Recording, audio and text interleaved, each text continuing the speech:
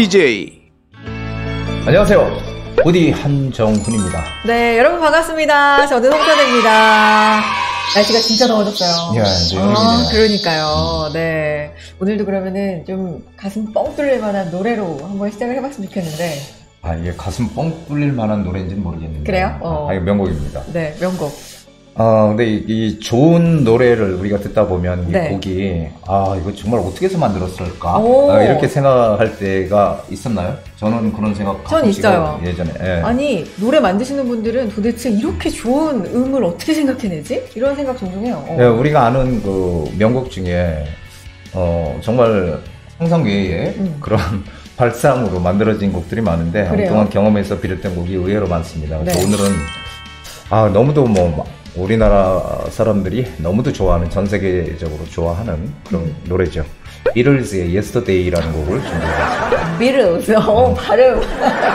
비틀즈, 네. 네, 비틀즈. 비틀즈 말씀하세요. 아, 비틀즈. 비틀즈. 아, 비틀즈의 예. Yesterday. 아, 사실 부디가 소개해 주신 노래 제가 조금 여기서 알게 되는 노래도 많거든요. 근데 이 노래는 워낙 워낙 유명하잖아요. 예. 그죠? 이 노래가 이 비틀즈라는 그룹이 네. 어, 폴 맥카트니, 그 다음에 존 레넌, 조지 해리슨, 링고 스타 이렇게 4인조로 구성이 되어 있는 네. 어, 1962년도 데뷔해서 70년도까지 8년간 이렇게 활동을 했는데요. 그렇게 짧게 정말, 활동했군요. 예, 근데 정말 오. 놀라운 기록이 있어요. 오. 뭐냐면은 빌보드 차트 1위를 어, 8년 동안에 20번, 8년 동안. 네, 20번을 기록을 했어요. 와. 우리가 알는 50년대 최고의 가수 엘비스 프레슬리라고 있는데 엘비스 프레슬리가 17번 1위를 차지했대요.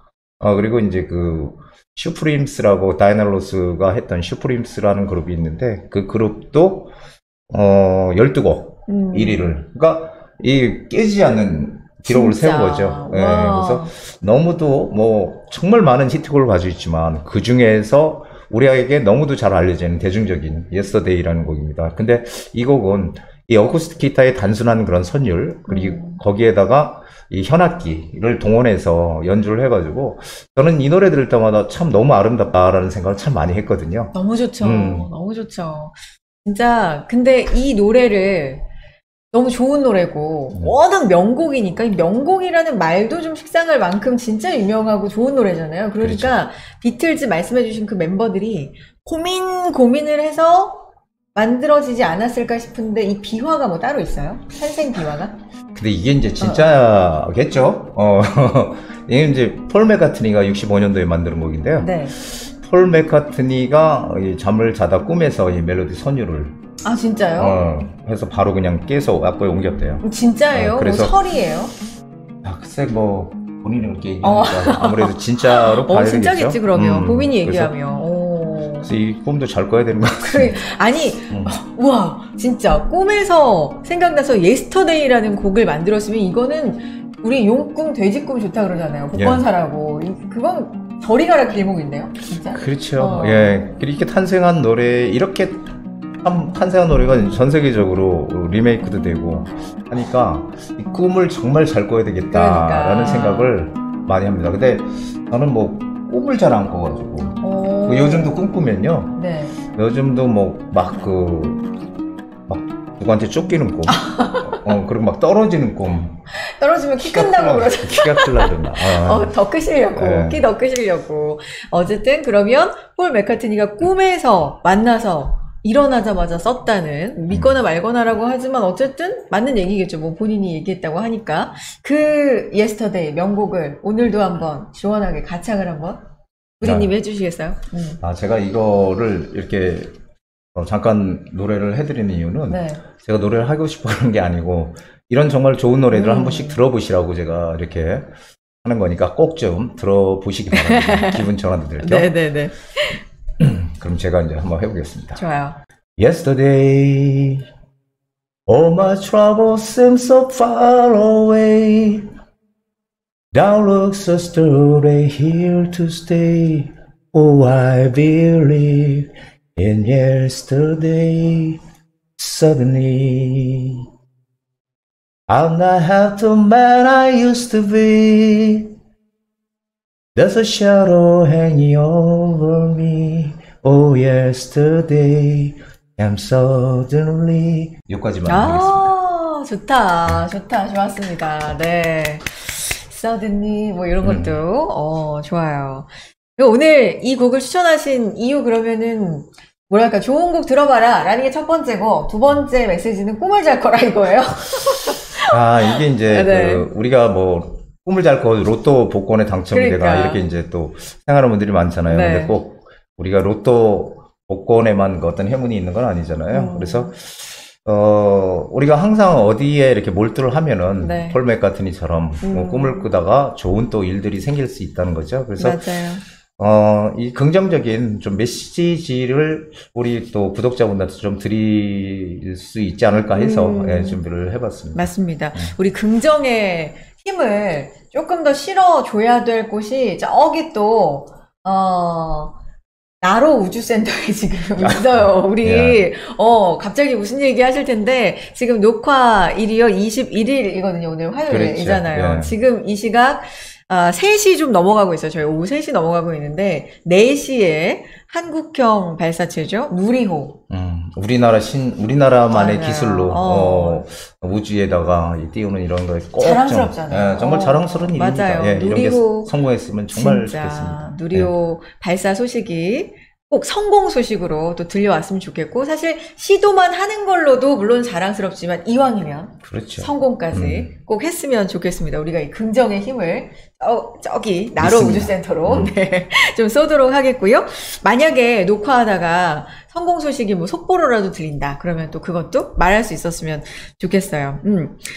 자, 그러면 우리 긍정의 메시지 누리호에 좀 음. 전달도 하고 또 우리 구독자들한테도 우리가 항상 긍정의 메시지를 전달을 그렇죠. 하는데 구독자한테 전달하는 긍정의 메시지는 뭐랄까? 부자가 되는 메시지인가요? 그렇죠. 부자가 되는 어? 저희 음, 캐치프레이즈가 부자 됐습니다. 그렇죠. 부자 예, 되세요. 우리 음. 항상, 음, 열심히 노력해서, 어, 남들보다 어, 조금 더 부자가 되는 그런 우리 긍정적인 우리 구독자들이 좀 많이 생기셨으면 좋겠습니다. 맞습니다. 어, 늘 부자 되시라고 말씀을 드리는데, 부자 되는 진짜 좋은 방법은 이런 동영상 챙겨보시면서 정보를 계속해서 이렇게 얻어가시는 것도 물론 있지만, 또 실질적인 저희가 행운도 드려야 되잖아요. 그쵸? 그렇죠. 그래서 저희가 퀴즈와 퀴즈를 제발 좀 이렇게 맞춰 주세요. 선물 드리고 싶어요. 이렇게 저희가 하고 있거든요. 자, 오늘도 퀴즈 또 행운 준비가 되어 있습니다. 근데 우리가 언제부턴가 선물이 소소하지가 않아. 그쵸? 그렇죠. 음.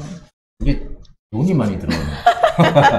네, 소소한 건 아니죠. 우리도 열심히 예, 맞아요. 우리 네. 구독자분들을 위해서 음. 어, 신경을 쓰고 있다는 얘기입니다. 왜냐면 절대 소소하지 않은 선물이 기다리고 있는데 지난 시간에도 이제 보신 분들 아시겠지만 선물이 좀 달라졌습니다. 매주 나가는 퀴즈를 계속해서 꾸준히 맞춰주시는 분들이 있거든요. 그분들을 위해서 또 혜택이 달라져야 되겠죠. 그래서 한 달에 한 번 추첨을 통해서 푸짐한 선물을 드리고 있는데 1등입니다. 1등 한 분한테는요.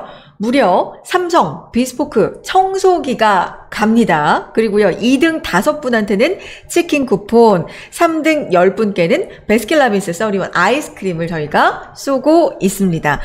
첫 번째 추첨자 발표가 그러니까 언제쯤일까요? 음, 한 달에 한 번이라 그랬으니까 그렇죠. 한 2주 남았나요? 3주 남았나? 음, 3주 뒤. 음, 3주 정도 남은 것 같습니다.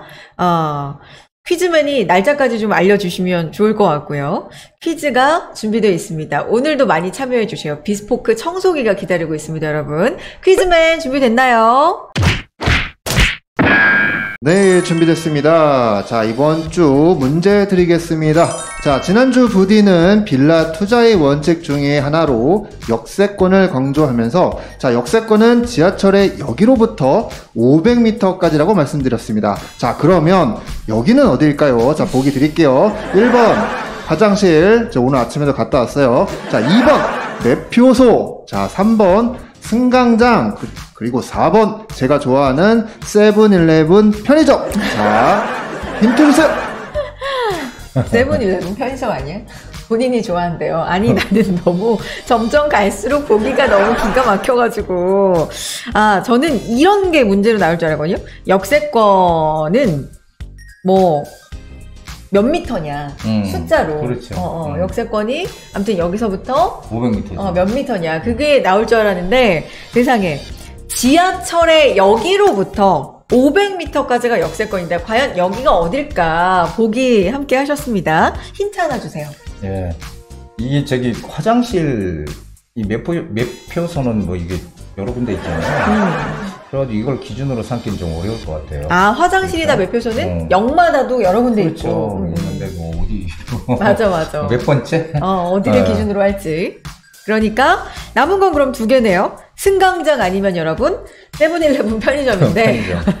여기 세븐일레븐 편의점 있어요. 그, 아, 어 아니죠. GS가 어, 있는 데도 어. 있고 뭐 미니 스톱이 있는 데도 있고 음, 아니면. 어 그 왜 지하철 역만에 또 음. 그 편의점 있잖아요. 그쵸? 음, 코레일에서. 운영하는 그쵸?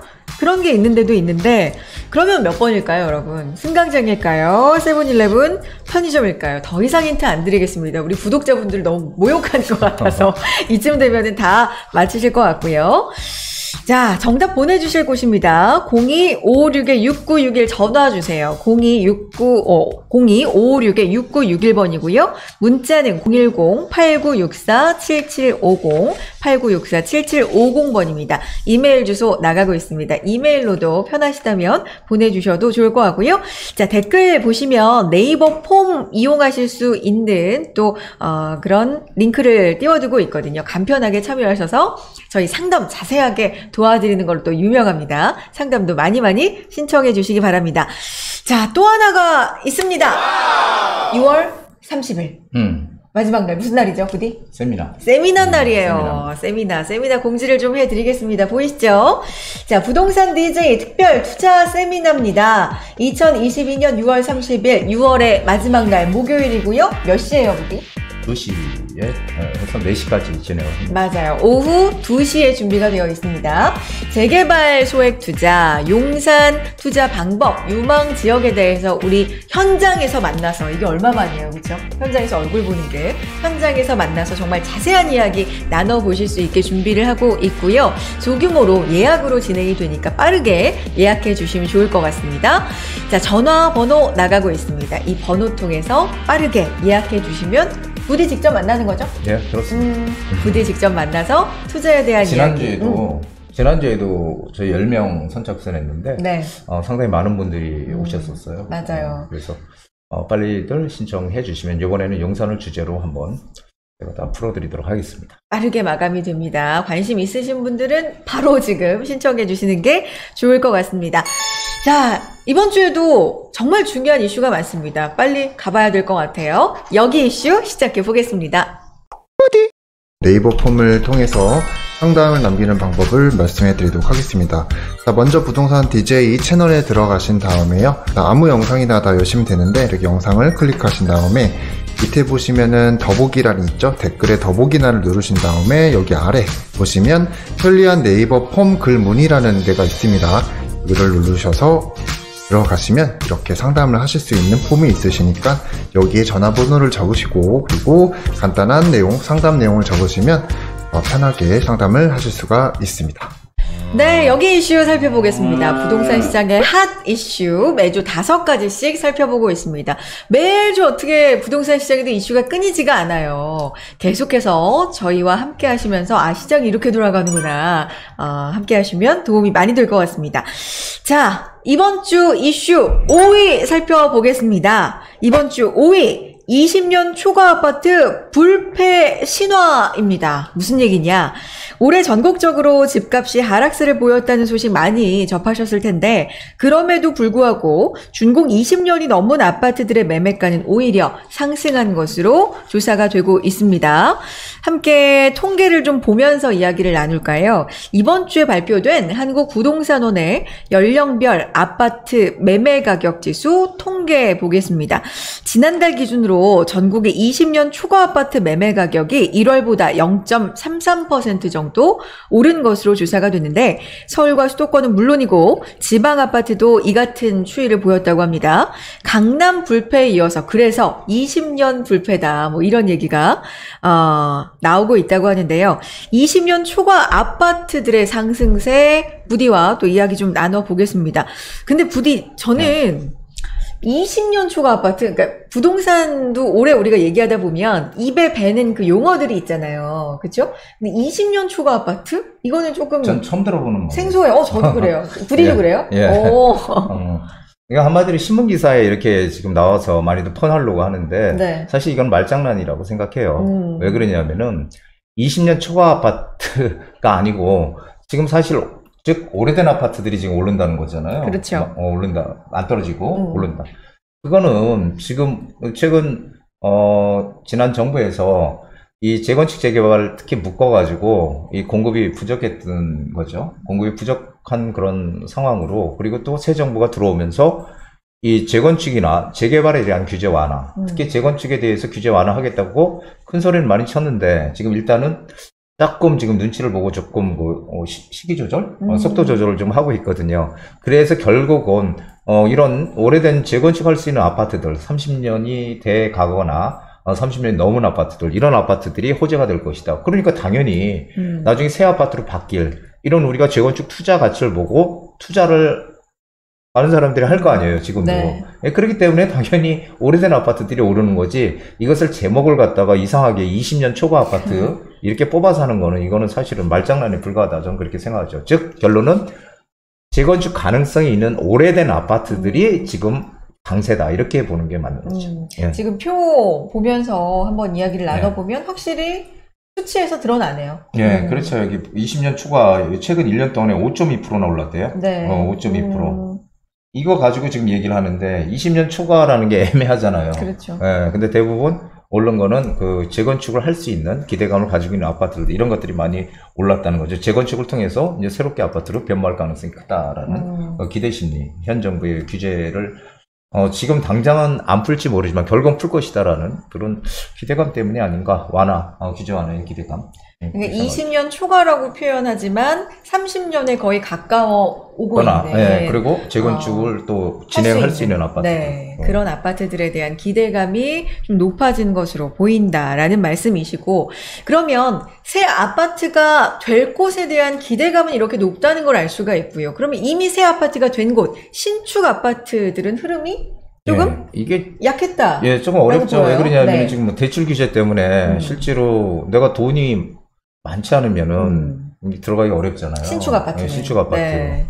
이뭐 대출 규제라든지 뭐 아니면 금리가 지금 엄청나게 높잖아요. 그렇죠. 그러니까 대출도 못 받지, 금리도 높지 하니까 이 신축을 살 수 있는 수요가 상당히 상대적으로 적을 수밖에 없는 거죠. 음. 이게 어떻게 보면 다양한 당연한 거예요. 음. 그런데 마치 새로운 무슨 사실이냐 이렇게 예, 기사를 쓴 거는 조금 좀 문제가 있지 않나. 아, 저는 이거 보고 어, 이게 뭐지 이렇게 아, 봤거든요. 20년 예, 초과가 초과 아, 아파트가. 그래서 그렇게. 그냥 어쨌든 재건축이나 리모델링이나 새 아파트가 될 그렇죠. 만한 기대감이 있는 곳이 강세다라는 걸로 그렇죠. 받아들이면. 예, 예. 될것 같다라는 말씀이십니다. 자, 4위 이슈 가보겠습니다. 4위는요. 지금은 월세 시대입니다. 무슨 얘기냐? 부동산 시장에서 월세 비중이 상승하는 것을 나타내는 이른바 전세, 월세화 현상이 빨라지고 있는 것으로 나타나고 있습니다.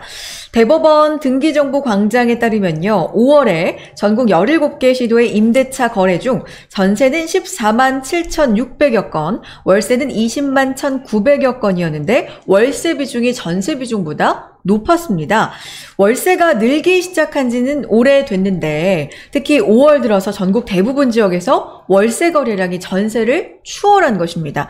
월세 거래량이 늘어나면서 당연히 월세 가격도 높아지고 있는 추세고요. 한국 부동산원에 따르면 월세 가격은 지난 3월부터 석 달째 그 상승폭이 커지고 있는 상황입니다.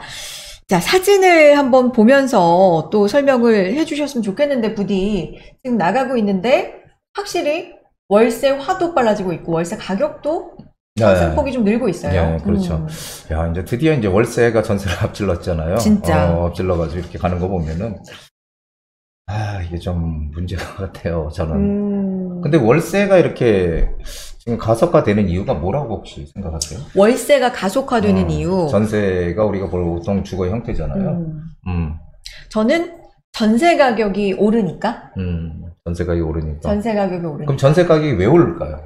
전세 가격이 왜 오르냐? 음, 어, 4년에 묶여 있잖아요. 4년이. 음, 그러니까 임대차 3법. 네, 임대차 3법에 의해서 4년에 묶여서 음, 맞아요. 4년 동안 어, 임대인이 원하는 대로 인상을 못 하니까 음. 4년이 지나고 나서 그 오름폭을 상당히 좀 많이 줄 거 아니에요. 음, 그래서 아닐까요? 맞아요. 어, 결론은 네. 이, 이 지금 이 월세가 가속화되는 가장 거기에 그 불을 붙인 게이 임대차 3법이에요. 음, 음. 어, 임대차 3법. 그러면서 임대차 3법으로 하다 보니까 임대인들이 그리고 거기에 이제 또 하나 플러스 요인이 지금 그 이런 재, 재산세라든지 종부세라든지 보유하고 있을 때 내는 세금들 음, 이런 것들이 지금 엄청나게 크거든요. 지금 음. 많이 올라서 음. 그러니까 어떻게 내릴 수 있는 방법이 없으니까 음, 어, 월세로 받아서 그 월세에서 이제 음. 충당을 하는 거죠. 아, 어, 그런 것도 있고. 예, 이런 것도 있고. 그러다 보니까 오히려 임대차 3법이 생기면서 서민들이 편해진 게 아니라 오히려 서민들의 고통이 더 가중이 됐다고 저는 생각을 해요. 음. 나중에 이게 전세값이 오르면은 어디 그 임대차 기간이 끝나면 계약갱신 청구권 다 쓰면은 이게 다 올라 있을 테니까 가기가 힘들잖아요. 또 전세로 음. 어디를 구할 때 또 다 올라 있으니까 힘들고. 그러니까 결국은 월세로 네. 많이 전환이 되는 거죠. 음. 음, 그래서 안타까운 현실입니다. 반전세도 참 많은 것 같고요. 그렇죠. 반전세 또 월세를 일부 받고 뭐 이런 형태도 좀 늘고 있는 것 같고. 그래서 네. 그 선진국도 같은 경우도 음. 우리는 음, 뭐 임대차 3법 뭐 이렇게 해서 전월세 상한제 이런 것들을 하잖아요. 그러니까 선진국은 전세가 없으니까 음 거기는 이제 어, 임대료 상한제라고 해서 시행들을 하는 나라들이 있는데 네. 미국 같은 경우도 캘리포니아나 뉴욕주의 일부 이런 데들이 지금 그 임대료 상한제를 시행하는데요. 음. 세계 전 세계의 모든 경제학자들 경제학자들이 얘기하는 게 있어요. 그게 뭐냐면은 경제학자들은 너무 너무 잘 많이 알잖아요. 음, 그렇죠. 투자는 잘 네, 못해도. 네. 예, 근데 어, 너무 알다 보니까 서로 간의 의견 일치를 상당히 보기가 어려운 집단이거든요. 음. 근데 그 집단에서 하는 얘기가 있어요. 그게 뭐냐면은 어, 한 도시를 파괴시키는데 가장 좋은 거는 그 도시에다 폭탄을 쏘는 거다. 아이고. 그렇죠. 네. 그리고 두 번째로 어, 도시를 파괴시키는 방법은 임대료 상한제를 하는 거다. 음. 그만큼 임대료 상한제에 대한 폐해를 계속 얘기해 왔거든요. 음. 지금 폐해가 지금 크게 나타나고 있다고 저는 생각을 해요. 네. 그래서 전 세계 경제학자들 90% 이상이 통일을 하는 음. 어, 좀처럼 의견 일치를 못 보는 집단인데 어, 그런 분들이 임대료 상한제에 대해 반대 의견을 많이 음. 어, 냈는데 지금 우리가 지금 그런 어, 이 부작용을 겪고 있다 저는 그렇게 보고 있습니다. 그렇군요. 지난번에도 말씀드린 적이 있는데 전세가 어, 전통적으로 우리나라에서 서민들의 주거 사다리랄까요? 내 집 마련을 위해서 돈을 목돈을 좀 모아놓고 이러기 위한 어떤 수단으로 쓰였었는데 이게 좀 급격히 사라지면서 서민들의 삶은 점점 팍팍해진다 이런 생각도 들고요. 대책이 좀 필요할 것 같아요. 그렇죠. 음. 어, 저는 일단은 임대차 3법에 대한 어떤 보완이나 폐지가 필요하다고 봐요. 네. 왜 그러냐면은 예전에 뭐 저도 세를 살아봤던 기억이 음. 있잖아요. 예전에. 그러면은 그때는 임대인과 임차인이 그래도 말이 통했단 말이에요. 서로 네. 간에 아, 정말 이렇게 사정이 어렵으니까 좀 봐주세요. 음. 어, 그럼 더 살아. 이런 게 있었거든요. 이게 정의라는 건데 우리 사회에만 있는 이런 것들이 지금 다 없어졌다는 거예요. 지금 법으로 하자. 무조건. 어, 법적으로 하자. 이렇게 나오거든요. 그러니까 정말 그 요즘 인정이 메마른 시대가 됐다고 봐요. 그래서 임대차 3법을 뭔가 좀 더 보강을 해서 임대인, 임차인이 같이 어떤 혜택을 얻을 수 있는 좋은 제도로 만들든지 아니면은 아예 없애고 다시 시작을 하든지 어 그리고 또 하나 이 전세를 전세 물량이 지금 그러니까 계속 줄거든요. 이 반전세나 월세로 가니까 네, 그러니까 그렇죠. 전세 물량을 늘리려면은 임대 사업자들, 그러니까 다주택자들에 대한 그런 어떤 임대 사업자 제도를 다시 부활을 시켜야 된다. 음. 그래서 아, 백채에 내가 집을 가지고 있더라도 나는 한 채만 살 거 아니에요. 거주할 거 아니에요. 나머지는 전부 다 월세든 전세든 줄 거 아니에요. 그래서 사실은 제가 어떤 통계를 보니까 음, 이 전체 그 주택을 공급하는데 임대인의 임대인 이 다주택자들이 공급하는 비중이 한 60%대가 넘어간다고 해요. 네. 그만큼 많은 비중을 가지고 있거든요. 음. 그렇기 때문에 임대사업자 제도도 부활을 시켜서 이 전세 물량들이 많이 좀 나올 수 있게끔 음. 이게 정부에서 못하는 임대주택을 많이 지면 좋은데 그게 한계가 있기 때문에 그 역할을 대신해 주는 게 임대인이거든요. 그래서 그런 어떤 임대인을 단지 투기꾼이라는 이런 관점에서 보지 말고 그래도 순기능도 분명히 존재하니까 네. 그 면을 같이 봐줬으면 좋겠다. 이렇게 좀 음. 정리를 하고 싶습니다. 다주택자의 무조건적인 어떤 투기 면에서 음. 어, 좀 부정적인 면만 보지 말고 시장에 하는 순기능적인 면도 어떤 임대주택의 공급적인 면 이런 면도 좀 봐줘서 정책을 만들어야 된다라는 취지로 말씀을 해주셨고 자, 요 얘기로 바로 이어가면 좋을 것 같아요. 3위 이슈 보겠습니다. 새 정부 첫 부동산 대책 발표입니다. 아, 앞서서 살펴본 내용과 또 연결이 됩니다. 아주 따끈따끈해요. 저희 녹화일이 21일인데 오늘 바로 아침에 새 정부의 첫 부동산 대책이 발표가 됐습니다. 첫 번째 부동산 관계장관 회의를 열었고요. 전월세 대책과 임대차 보완 대책, 분양가 상한제 개편안을 함께 발표해서 시장에 아, 이목을 지금 집중시키고 있고요. 사실상 윤석열 정부의 첫 부동산 정책이 되겠습니다. 시장에 미칠 영향력도 준비가 어느 정도 됐는지, 어, 영향력, 파장력이 또 어떻게 될지 주목을 좀 받고 있는데, 꽤 다양한 내용이 발표됐어요. 예. 네. 어, 마- 정말 많은 내용들이 지금 나왔거든요.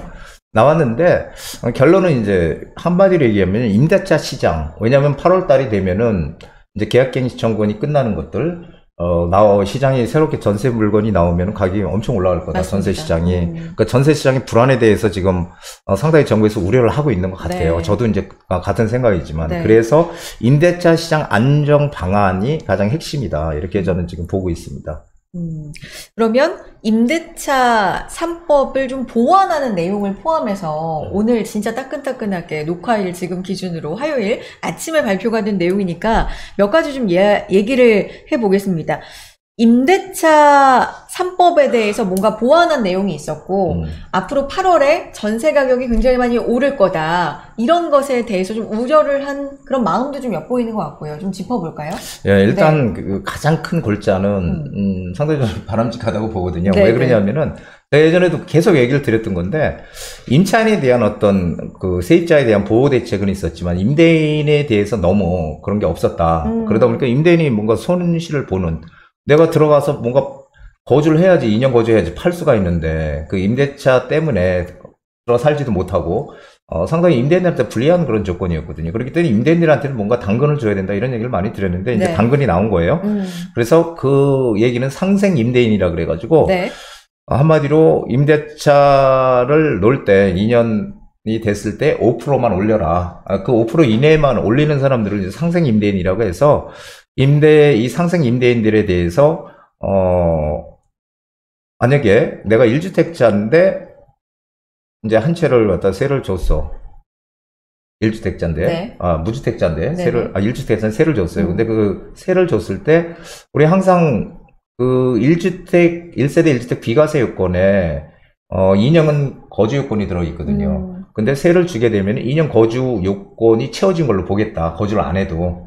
그러니까 세입자 거주를 안5% 해도. 이내 올리는 그렇죠. 상생 예. 임대인에 대해서 음. 네. 그래서 본래는 예전에는 임대 개시 시점에 기준 시가 9억 이하 1세대 1주택자만 이 상생 임대인으로 해서 이제 보호를 해줬는데 어, 혜택을 줬어요. 근데 지금은 이 다주택자도 혜택을 주겠다는 거예요. 음, 어, 그리고 그래서 어 저는 어 다주택자도 혜택을 주나 이렇게 봤더니 다주택자도 어 나중에 1주택으로 환원하겠다라는 그런 의사가 있다면 네. 음, 1주택으로 그러면은 이제 다주택자들도 2년 음. 거주한 걸로 이렇게 하겠다. 음. 이렇게 지금 나와 있어요. 그래서 어 이거는 사실은 2년 거주 요건을 면제해 준다는 거는 네. 상당히 크거든요. 음. 어, 그러면 양도소득세가 없잖아요. 그렇죠. 1세대 1주택 비과세가 되니까. 그래서, 어, 이거 이제 비정상에서 이제 정상적인, 어, 그런 것으로 지금 환원하는 과정이 아닌가. 그래서 상당히 전 바람직한,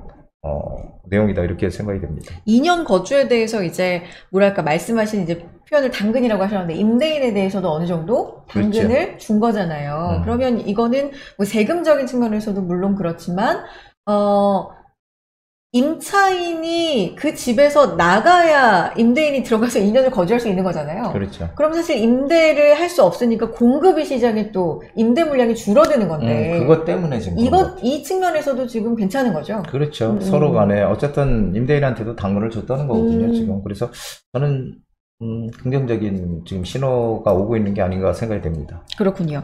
그래서 어 이번 대책에 대해서 어느 정도 긍정적이다. 음. 임대차법을 어느 정도 수정한 것에 대- 대해서는 이렇게 보십니까? 예, 저는 뭐 이게 네. 비정상에서 정상으로 이제 아. 환원되는 과정이다 이렇게 보기 때문에 상당히 바람직한 음, 것이다라고 보여지고 있습니다. 그렇군요. 자, 분양가 상한제도 개편안이 나왔어요. 이 얘기도 좀 해볼까요? 어, 여기서 일단 핵심은 네. 분양가 상한제도 그 우리가 분양가 상한제 대상 아파트를 가지고 있으면 실거주가 최대 이제 2년에서 5년까지 음. 최대 5년까지 무조건 들어가 살아야 돼요. 네. 그런데 이제 그것을 지금 폐지했어요. 음. 어, 폐지해가지고 어, 한마디로 언제 들어가 살아도 상관없는데 주택을 매매하거나 그러니까 양도하는 거죠. 양도하는 시점이나 상속이나 증여 그 시점 전까지만 들어가서 2년을 살아라. 네. 어, 그러니까 상당히 완화된 음. 거죠. 이게 이제 비정상에서 정상으로 환원되는 거 아닐까요? 어, 음. 궁극적으로 저는 세금이라는 것은 어, 이 정책적인 어떤 규제는 최소한의 규제만 해야 된다. 그리고 시장이 잘 돌아가게끔 정부에서는 뒤에서 이렇게 응원하는 그런 어, 형태가 이 자유 경, 이 자유 시장에서 음. 민주주의 시장에서 자유 경쟁 시장에서 바람직한 일이 아닌가 생각이 됩니다. 음.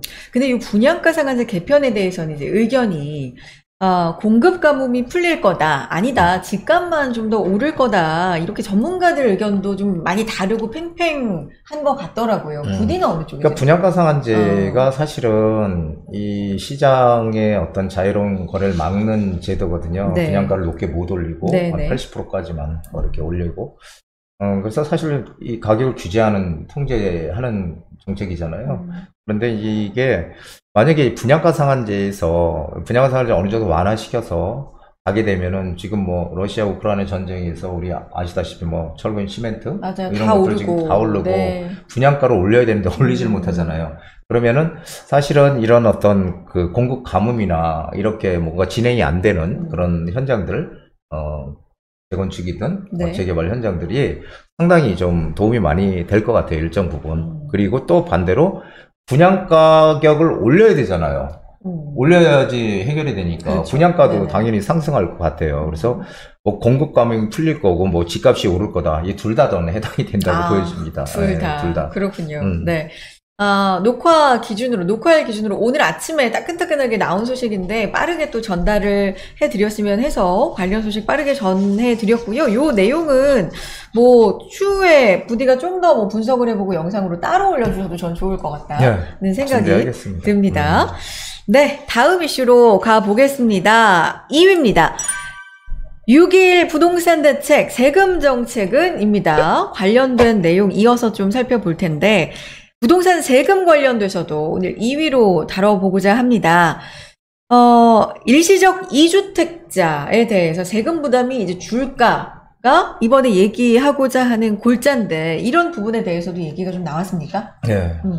일시적 2주택자 같은 경우에 네. 우리가 이제 아, 1주택이 있었는데 이사나 뭐 이런 것 등으로 인해서 신규 주택을 취득하게 되면은 기존 주택을 2년 이내에 매도를 그렇죠. 해야 되거든요. 네. 종전 주택을 양도해야 되는데 이 상생 임대인인 경우가 뭐 이 상생 임대인이 지금 화두인 것 같아요. 네. 어, 그러면은 2년 거주요건을 면제해 주겠다. 2024년까지. 네. 2년 거주 안 해도 어, 일시적 2주택자로서 안 보겠다. 음. 2주택자를 안 보겠다는 거예요. 아. 이 상생 임대인도. 그래서 네. 저는 이런 게 상당히 어, 바람직하다. 여러분 참 많이 대책이 상당히 많이 나온 것 같아요. 음. 음, 근데 이제 우리가 중요한 거는 이제 요 핵심만 일단 좀 간단하게 좀 얘기를 하고 있습니다. 네, 알겠습니다.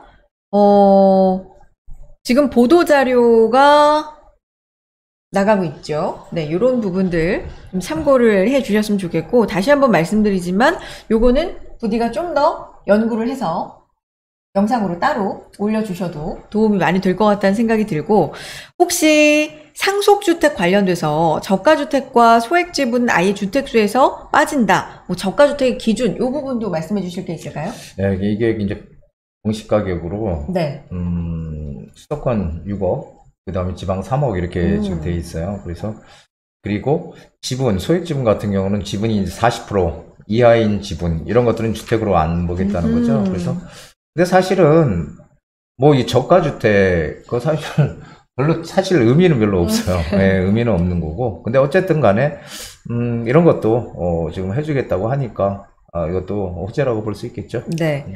그러면 생애 첫 주택 구입자에 대해서도 지속적으로 좀 대책이나 음. 정책으로 얘기가 나오는데 어, 취득세 감면 방안도 이번에 들어갔어요. 예, 예. 네. 생애 최초로 주택을 구입하는 사람들이 200만 원까지 음. 취득세 뭐 한도에서 면제하겠다. 그러니까 어, 조금 어, 다양한 그런 얘기들이 지금 많이 나오고 있는 것 같습니다. 자, 전반적으로 이렇게 오늘 나온 소식이어서 이런 이런 게 있습니다라고 쭉 한번 짚어드렸는데 이번에 나온 부동산 대책 전반적으로 어떻게 평가하세요? 세제를 포함해서. 음, 네. 이게 이제 임대차 시장 안정화에 이제 방점을 찍다 보니까, 음, 이렇게 이제 그, 어, 무주택자나 일주택자들에 대한 그런 규제는 상당히 그, 거기에 이제 많이 완화가 된 것 같아요. 그래서 호재는 분명히 호재라고 보여지는데, 그런데 일단 이 대출이나 세제 등에 대해서 일단 다주택, 주택을 두 채, 세 채 가지고 있는 사람들에 대한 규제 완화는 좀 미약한 게 아닌가, 음. 어, 이렇게 좀 생각이 됩니다. 그래서 이런 것도, 근데 저는 어쨌든 간에 일단 이 첫 걸음이 중요하잖아요. 음. 그래서, 음, 첫 걸음이 그래도, 어, 완화 쪽으로 지금 일단 시작을 했기 때문에 음. 잘뭐 풀릴 거라고 보여져요. 그리고 다주택자들, 어, 투기꾼으로 보지 말자. 그리고 이제 순기능을, 어, 우리가, 어, 이 정부에서도 인정을 하고, 어, 상생할 수 있는 다주택자와 어, 세입자 뭐 같이 전부 다 상생할 수 있는 그런 대책들이 뭔가 숨통을 좀 트여줄 수 있는 음, 그런 대책들도 같이 어, 나와야 되지 않을까 이렇게 기대하고 있습니다. 일단 첫 걸음은 잘뗀 것으로 평가를 하셨고요. 추후에 조금 더 깊이 들어간 그런 정책들도 나오기를 기대한다. 라고 말씀을 해 주셨고, 자, 이슈 1위 가보겠습니다. 어, 오늘 새 정부 관련 소식이 많은데요. 얼마 전에, 음, 이런 소식이 있었습니다. 1위, 일단 주제는요, 용도 지역 규제 허문다입니다. 얼마 전에 윤석열 정부에서 용도 지역 제도의 개편을 추진한다는 소식이 전해졌는데, 새 정부의 경제정책 방향을 발표하면서 융복합 시대에 맞춰서 도시 공간의 혁신이 이루어질 수 있도록 용도 지역제 개편을 추진하겠다라고 밝힌 겁니다. 그동안 다소 구시대적이라는 지적을 받았던 용도 지역제를 바꿔서 주택 공급 그리고 복합 개발을 용이하게 한다 그런 의지라는 평가도 나오고 있는데 일단 용도 지역 많이 들어본 거는 같아요. 예. 용도 지역, 용도 음. 지역. 정확히 지역. 근데 이게 뭔지. 용도 먼저, 지역이 네. 이, 이 시내, 이 도시에 어, 규제를 해놓은 겁니다. 이게 지금 뭐 엄청나게 오래됐는데 음, 이게 뭐냐면은 용도 지역은 주거 지역과 그다음에 상업 지역, 네. 공업 지역, 음, 녹지 지역 들어보셨죠? 네. 이렇게 네 개로 나눠 놓는 거예요. 음. 그래서 주거 지역은 주거에 관련된 시설들만 들어가라. 집. 어, 집과 네. 그다음에 집에 필요한 근린 생활 시설들. 음, 상업 지역은 상업 시설들 위주로 어, 들어가라. 공업 지역은 공업 위주. 녹지 지역은 뭐 주택도 질 수는 있지만 종에 따라서 뭐 자연 녹지냐 보존 녹지냐 음. 생산 녹지냐에 따라 질 수는 있지만 음. 이렇게 나눠 놓고 용적률하고 이 용적률 건폐율을 관리해 가지고 한마디로 층고도 제한하고 이런 규제들이 있어요. 음, 이게 정말 오래된 아마 제가 알기로는 이거 한 80년대 한 오. 예, 그런 규제라고 지역 계속 유지됐던 규제라고 이제 생각이 되는데 네. 이게 기존의 용도 지역이었어요. 주거 지역에 음. 사시는데 주거 지역 같은데 네. 어 거기에 갑자기 뭐 백화점 들어온 거 봤어요? 백화점? 응, 음, 없죠 주거 지역에. 음. 그러네요. 모르세요. 상업지역. 상업, 그렇죠. 그러네요. 어, 우리 백화점 가려면은 시내로 나와야 되잖아.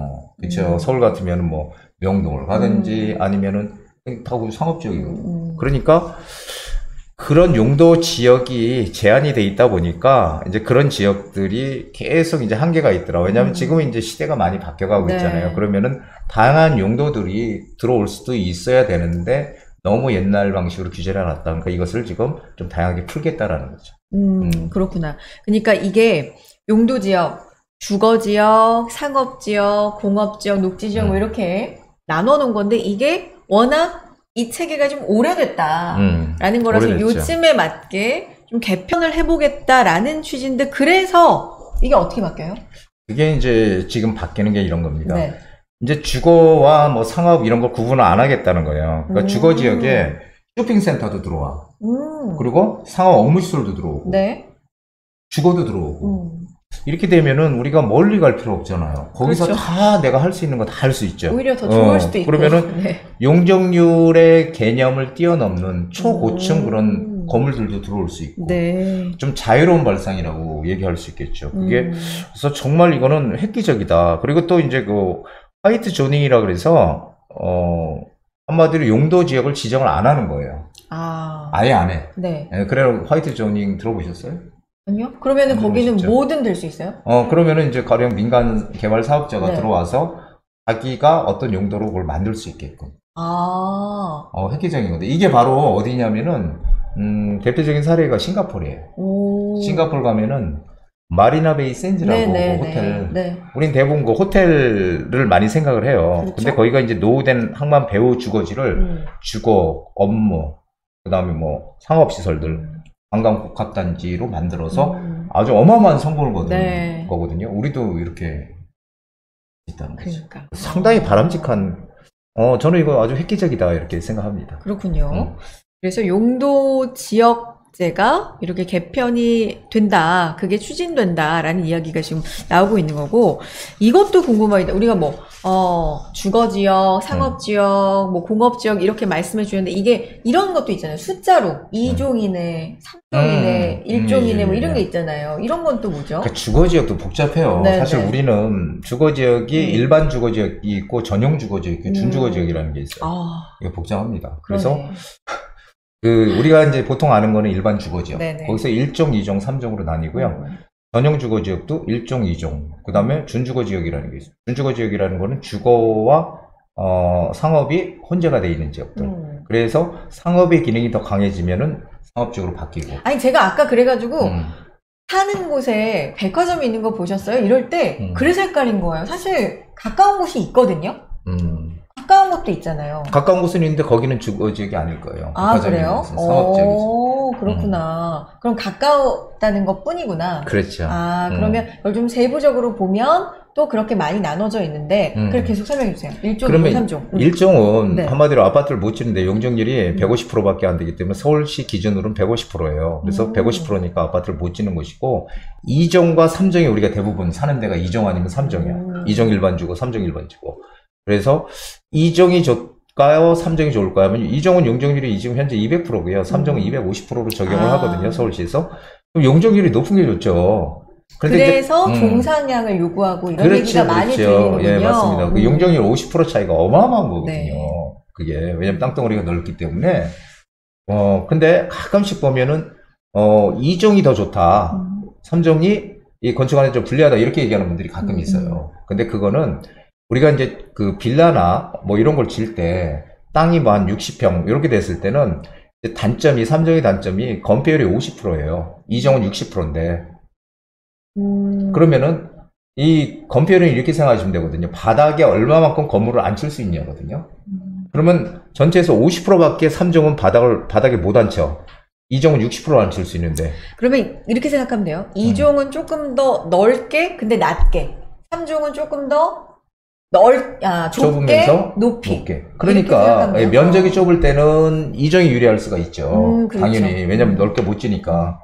근데 땅을 많이 사실 못 하니까 50%밖에 못 차지하니까 2종은 60%인데 근데 이제 이게 만약에 면적이 만 평이야.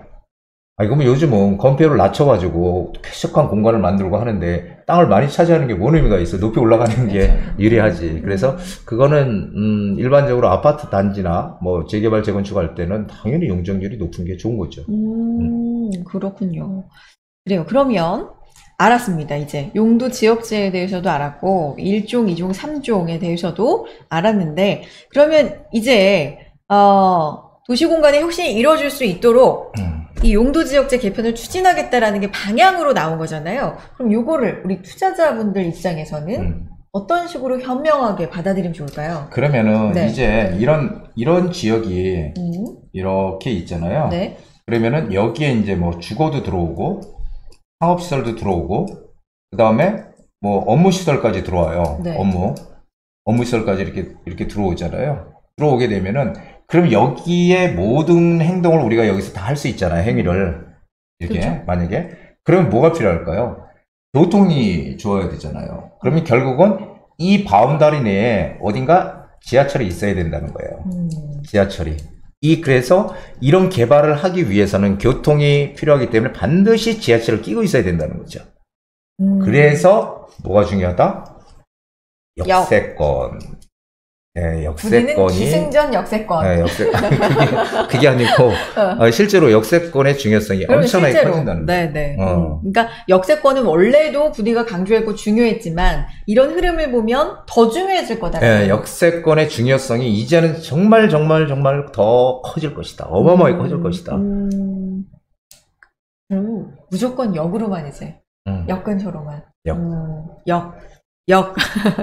자, 오늘 이렇게 다섯 가지 이슈 쭉 살펴봤는데, 부동산 시장에 뭔가 변화가 일고 있는 건 좀 분명해 보여요. 음, 시작이긴 하지만. 그렇죠. 음, 지금 많이 변화가 일고 네.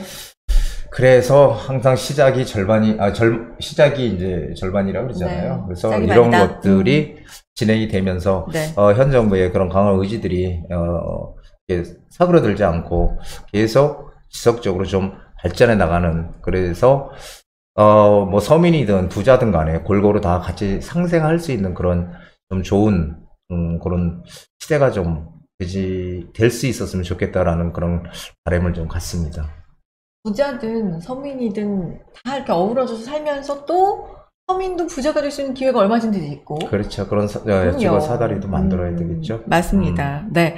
자, 이렇게 계속 변화가 일어나고 있는 부동산 시장. 나는 어떻게 지금 내 상황에서 대처를 하는 게 좋을지 전략을 모르겠어요. 궁금해 하신 분들 각자 아마 고민을 안고 많이 계실 것 같습니다.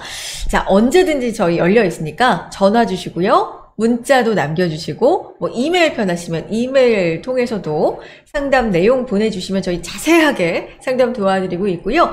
네이버 폼을 이용해서 간편하게 또 상담 신청하실 수 있게 저희가 댓글 보시면 그 방법도 올려놓고 있습니다. 이용해 주시면 성심성의껏 자세하게 상담 도와드리겠습니다. 부동산 여기 이슈였습니다. 차라리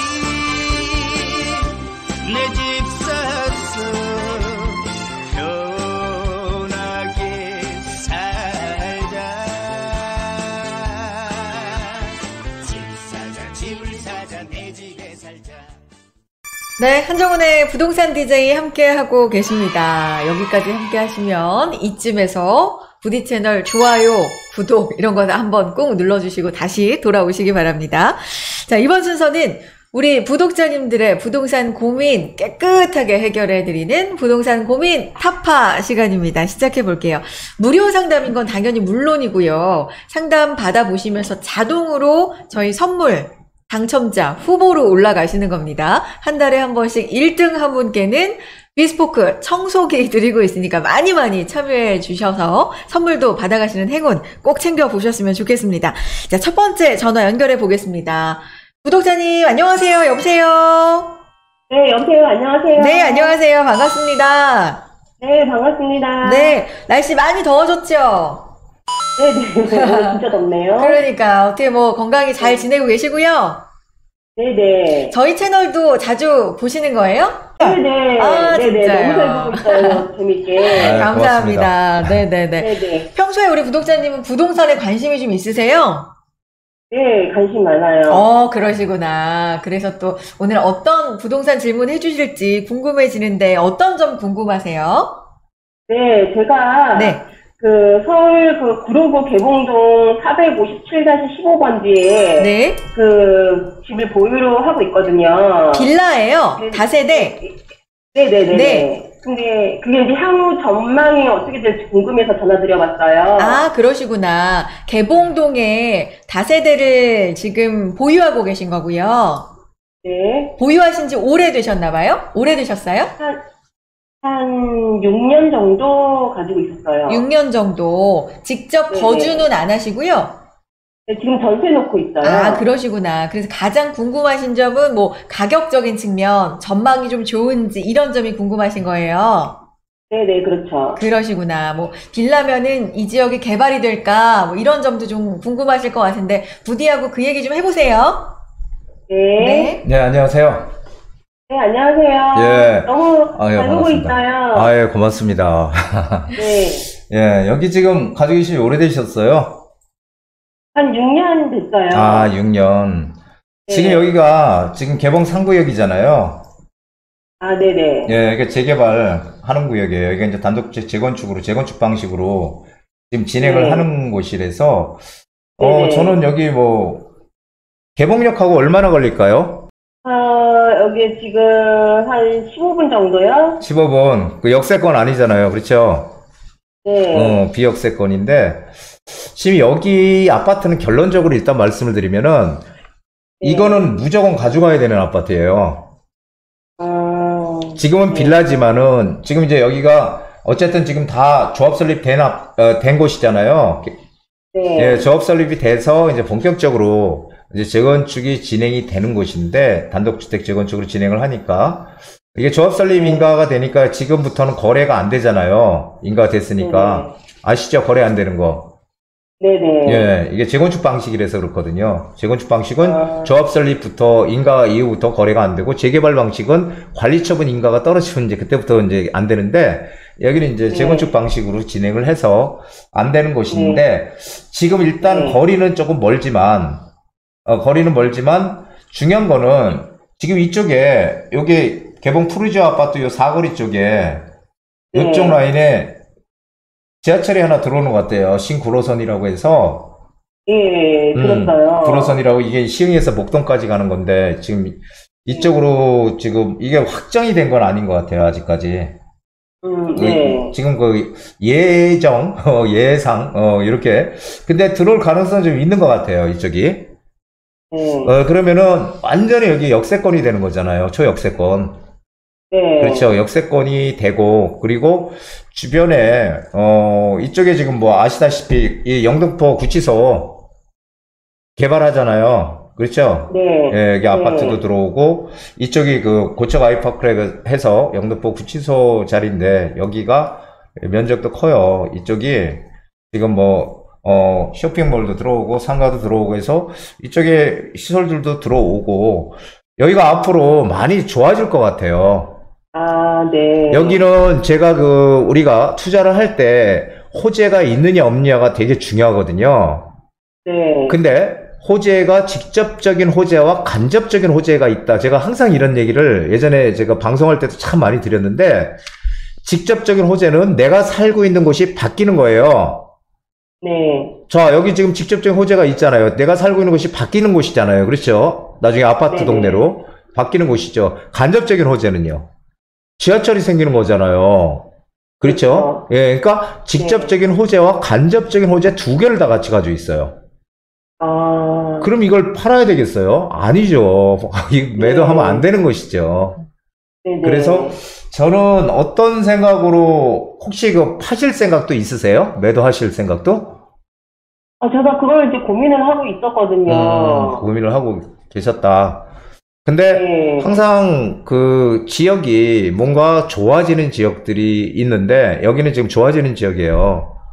아, 예, 이 위쪽으로 이쪽에 블루밍 아파트 이쪽 라인으로 위쪽으로 이쪽도 지금 재개발 어, 추진하고 있는 곳이고 여기 사구역인가 음. 예 음, 그쪽 사구역인가 그렇고 그래서 저는 여기는 앞으로 점점 지역이 좋아질 지역이고 직접적인 호재와 간접적인 호재 두 가지를 갖춰가지고 있기 때문에 여기는 무조건 그냥 보유해야 돼요. 음. 어, 보유해야 돼요. 여기 지금 그 아, 네네. 어, 보유한 지몇년 되셨다 그랬지? 6년이요. 6년. 음, 그러니까 네. 어쨌든 여기는 앞으로의 가치가 훨씬 더 커질 것이에요. 어, 네네. 예, 어, 그러니까 감사합니다. 예, 절 믿고 그냥 보유하셔도 됩니다. 여기는 충분히 가치가 있어서. 아, 네네. 예, 그러니까 그렇게 정리를 해드릴게요. 더 궁금하신 거. 아니요, 말씀 너무 감사해요. 고민이 완전히 해결이 됐어요. 어, 음, 고맙습니다. 예. 네네. 목소리가 급격히 밝아지셨어요. 항상 네, 제, 아, 예, 속이 시원하네요. 예, 항상 올바른 그런 투자를 잘 하셔가지고 꼭 부자 네. 되십시오. 진짜 부자 네, 되세요. 네, 네, 오늘 고맙습니다. 네, 너무 감사드립니다. 네, 예, 감사합니다. 아유, 네. 우리 구독자님 그 목소리가 밝아지신 걸 들으니까 우리가 다 좋네. 그죠? 예, 어, 저도 너무 좋아요. 좋네요. 네. 예, 기분이. 어, 근데 기분 좋으시라고 일부러 뭐 그냥 없는 얘기 드리는 말씀이 아니라 부디 의견이 진짜 그래서 좋다고 말씀드린 거고 여기는 직접 호재와 간접 호재가 다 있다. 무조건 보유해야 된다라는 말씀을 해주셨습니다. 보유를 좀 오랫동안 해보시면서 꼭 그 열매를 맛보셨으면 좋겠네요. 자, 다음 분도 만나보겠습니다. 네, 다음 시청자님, 다음 구독자님도 바로 만나봅니다. 연결돼 있어요. 안녕하세요. 여보세요? 예, 안녕하세요. 네, 안녕하세요. 네, 예, 반갑습니다. 예, 반갑습니다. 네, 저희 부동산 DJ 채널 자주 봐주세요. 예, 아, 감사합니다. 어떻게 도움이 좀 되시나 모르겠어요. 네, 예, 많은 도움 되고 있습니다. 아, 감사합니다. 오늘 이제 예, 예. 부디님하고 또 통화도 직접 하실 텐데, 일단 어떤 점이 궁금하신지부터 저한테 말씀해 주시겠어요? 예, 저기, 그, 이제 그, 그 건물에 대해서. 네, 예, 구독자님, 그 주소를 좀 자세히 알려주시겠어요? 서울시 강서구. 네, 까치산로. 네. 까치산로 22입니다. 예. 아, 그렇군요. 예, 이렇게 지도를 보면 네, 상가 빌딩이 나오는 건데 이걸 보유할까 매각할까 뭐 현금 청산 얘기도 해주셨는데 도대체, 도대체 어떻게 되는 건가 궁금하신 게 많으신 것 같은데 바로 연결해 예, 예. 드릴게요. 부디 예. 인사해 주세요. 예, 안녕하세요. 예, 안녕하세요. 예. 아, 이게 상가 건물 지금 화곡역 역세권에 있네요. 그렇죠? 예, 맞습니다. 예, 역세권에 있는데 이거 지금 몇 평이에요? 대지가? 그, 대지가 약 한 70평 정도 됩니다. 오, 70평이요. 어, 그러면은 작은 예. 게 아닌데 70평. 몇 층짜리죠? 예. 4층 건물입니다. 4층이요. 그러면은 지금 거기에 거주하시는 거예요? 아, 아닙니다. 지금 그, 이제 1층은 CU. 아, CU. 예, 편의점이고. 운영 중이고요. 예, 예. 예, 나머지는 이제 그 사무실로 임대 중입니다. 아, 임대 중이시고 여기 예, 거주는 안 예, 하시고 예. 70평. 그래서 지금 이제 그 동네가 음. 그 공공 재개발 뭐 또는 뭐 모아주택 하여튼 뭐 그런 이제 그 움직임들이 있더라고요. 예, 지금 제가 그래서 이제 그럴, 예. 그럴 경우에 이제 건물을 저희가 이제 지금 매각을 하려고 하는데 예. 그 만약에 이제 그 매각을 하는 게 나은지 아니면 이제 공공 재개발이나 이제 뭐 모아주택에다가 이제 국가로부터 수용을 당하면은 그 뭐 현금 청산을 받는다고 하는데 음. 그 현금 청산의 의미가 이제 그 시세대로 받는 건지 아니면 뭐 공시지가 기준으로 받- 청산을 받는 건지 음. 예 그게 궁금해서 전화 드렸습니다. 음. 근데 여기가 예 아, 지금 모아주택 추진하는 데들이 이 까치산역 쪽도 있고요. 예, 까치산역 이쪽 라인도 있고, 그 다음에 화곡역 쪽 이쪽 라인도 있거든요. 예, 예, 왼쪽에. 그래서 여기는 확정이 된 데고요. 일단은 지정이 된 데고, 지금 말씀하신 건물이 있는 예, 이쪽 그 화곡 본동, 아, 팔동인가요? 여기가 본동, 이쪽 라인. 그러니까 예, 예, 예. 지금 건물을, 상가 건물 가지고 계신 쪽에 그쪽은 지금 아직까지 확정이 된 게 아니고 뭔가 추진을 하는 곳이잖아요. 추진을 하려고 하는 곳. 예, 예, 예, 추진하려고 하는 곳인데 음, 지금 저는 여기 그 까치산역도 그렇고 화곡역이 지금 교통이 엄청 앞으로 바뀌잖아요. 물론 시간이 필요하지만 예, 화곡역이 대장 홍대선 들어오는 거 아시죠? 예, 대장 홍대선. 예, 예, 대, 대장 홍대선. 예, 그리고 신정지선, 2호선 연장선인 신정지선도 일로 지금 들어오는 걸로 되어 있고요. 예, 예, 예, 아시나 모르겠어요. 5호선 연장, 청라 가는 예. 거, 어, 청라선, 5호선 연장도 이쪽으로 들어와요. 예, 예, 예, 그러면은 여기가 도대체 여기 몇 개가 생기는 거예요, 이쪽이. 예, 예, 예, 저는 상당히 가치가 크다고 보여져요. 예, 예, 예, 그리고 이쪽에 지금 모아 주택으로 해서 모아 타운으로 추진을 한다고 하지만 예, 여기는 지금 아직 그 제가 보기에는 이쪽이 가능성이 그렇게 많지는 않을 것 같아요. 이게 물론 노후도가 이쪽이 사실 좀안 맞는 걸로 알고 있거든요. 이쪽 라인이. 예, 예, 예. 그래서 예, 이게 쉽사리 추진이 과연 될까? 물론 예, 뭐될 수도 있겠지만은 그게 쉽지는 않을 네. 것이다라는 전 개인적인 판단을 하는 거고요. 그리고 예, 예, 이거를 뭐 그 아까 뭐 말씀하신 대 수용 당해서 이거를 갖다가 뭐 어 나중에 현금 청산한다 이거는 생각도 안 하시는 게 좋아요.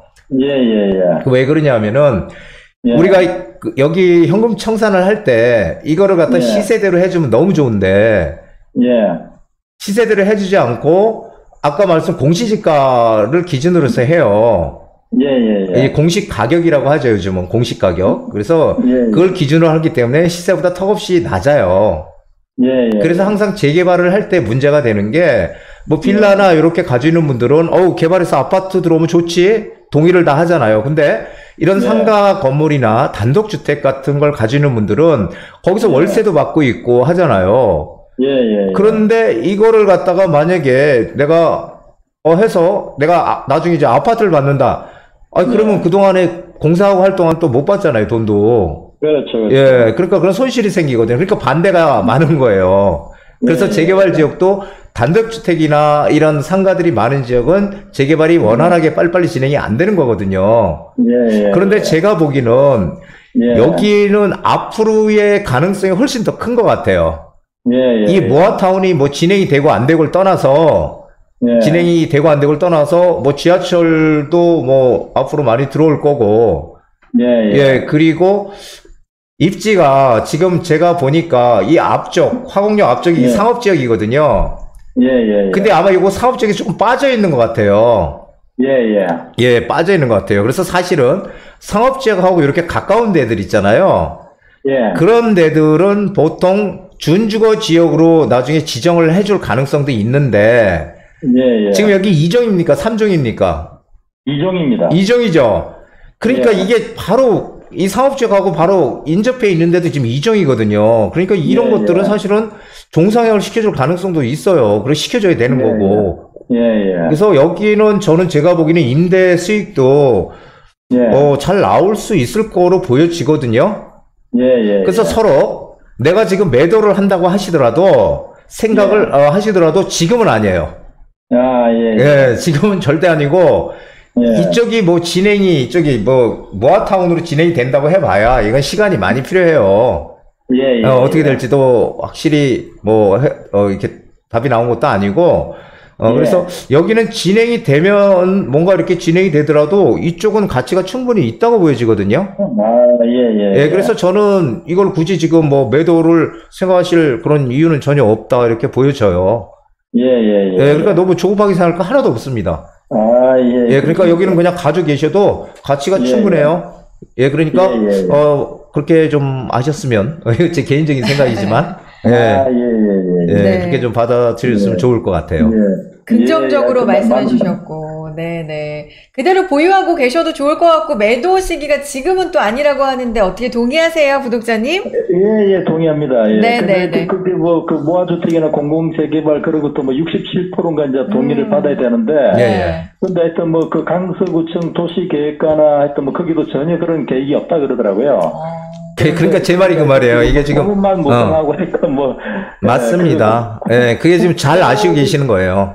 음, 예, 음. 국토부에도 뭐, 그, 하곡, 거기, 뭐, 등촌 일지군거만 이제 거기 승인이 됐고, 나머지는 뭐 다 아웃됐다 그러더라고요. 예. 음, 많이 또 알아보셨네요. 예, 예, 예. 네, 아유, 아, 예. 음, 정말 예. 좋은 태도죠. 음. 소중한 자산을 그럼요. 또 예, 그렇죠. 예. 많이 예. 정보를 얻으시는 정확한 정보 얻으시는 거 너무 좋은 태도고 저희에게도 예. 전화 잘 주셨고 또 궁금하신 점 있으시면 질문해 주시고요. 또 전화 주세요, 구독자님. 예, 예, 알겠습니다. 네, 예, 고맙습니다. 감사합니다. 예, 고맙습니다. 네. 예. 아, 그 이분은요, 음. 그 우리 이 구독자분은 네. 다 이제 알아볼 거 다 알아보셨는데 그러니까, 어. 한번 더 확신을 얻고 싶어서 저한테 전화를 너무 것 좋은. 태도죠. 네, 네. 자기 자산은 이렇게 지켜나가고 또 불려나가고 하는 거죠. 그렇죠. 정보가 힘인 세상이니까 여러분도 많이 알아보시고 저희하고도 또 통화도 해보시고 어, 부디의 의견은 어떤가 들어보시고 뭐 이런 방법 정말 좋을 것 같습니다. 화곡동 빌라 투자 이제 종종 문의 들어올 때 반반이었던 것 같아요. 부디 의견이 상가 같은 경우도 반반 아니면 그 입지에 따라 틀리는 입지에 거죠. 따라. 예, 입지에 음. 따라 틀리는데 음. 근데 저는 요번에 그, 이 모아타운, 모아 이런 것들이 네. 들어오면서 새삼 또 많이 느끼게 됩니다. 왜냐하면은 화곡동은 본래 그, 제가 판단하기로는 한 80%가 이 빌라들이 많거든요. 음. 거기 이제 신축 빌라들도 많고. 네. 그래서 사실 노후도가 잘 안 맞는 지역인데, 아, 이쪽도 모아타운을 추진하고 막 하는 거 보면은, 음. 음, 지금 확정, 어, 확정, 지정된 데도 있고요. 그런 거 보면은 영원한 건 없구나. 아. 아, 이게 예전에는 뭐, 아, 여기 하면 안 됩니다. 아. 그랬던데도, 아, 시간이 지나니까 또 변하는구나. 저도 또 음, 그런 깨달음을 얻습니다. 그렇군요. 아, 여기 몇십 년 동안 이쪽 계통에서 보아, 봐 오신 부디도 그런 걸 느끼는구나. 그렇죠? 아, 영원한 아, 건 없구나. 그럼요. 변하는구나. 그렇군요. 알겠습니다. 자, 여러분 계속해서 전화도 주시고 문자도 남겨주시고 또 이메일도 보내주시면 이렇게 저희 자세하게 상담 도와드리고 있습니다. 그리고 무료 상담은 당연하고요. 어, 비스포크 청소기 그 추첨 후보가 자동으로 되시는 거니까 많이 많이 참여해 주시기 바랍니다. 자, 이번에는요, 이메일로 보내주신 조금 긴 사연 살펴보겠습니다. 아, 확실히, 음, 뭐, 개발 지역, 요런 부분들, 많이들 관심 갖고 계신 것 같아요. 요즘에. 한번 읽어보겠습니다. 안녕하세요, 부디. 그리고 홍선혜님. 아이고, 저까지 또 불러주셨어요. 고맙습니다. 저는 MBTI 검사를 하면 항상 ISFP가 나오는 전형적인 소심남입니다. 부동산 투자도 지금껏 마음만 먹었지 제대로 해본 적 없고요. 올 초부터는 용산에 투자를 해보고 싶었지만 제가 소심해서 결정을 몇 번 미뤘더니 그새 가격이 마구 올랐더라고요. 그래서 이번에는 재수생, 삼수생의 심정으로 반드시 제게 맞는 투자처를 찾아서 투자를 해보고 싶은데요. 아내도 적극 동의를 해준 덕에 현재 약 3억 원 정도의 금액으로 용산권 투자를 고려 중입니다. 저 드넓은 용산에 저희 부부를 위한 매물은 어디쯤 있을까요? 이런 내용으로 보내주셨는데, 음, 소심남이라고 본인을 표현해 주셨어요. ISFP. 부디 MBTI 뭐예요? 혹시 검사해봤어요? 저는 이런 용어를 처음 들어. 아, 진짜? 아 이게 뭐예요? 아, 이게 뭐냐면, 네. 아, 어떻게 설명해야 되지? 아니 전 처음- 어, 어. 평생 처음 듣는 아, 얘기. 진짜로? 네. 성격 테스트라고 해야 되나?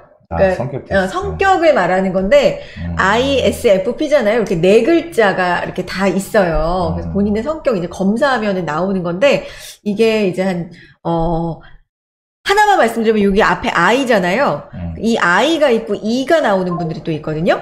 그럼 E는 외향.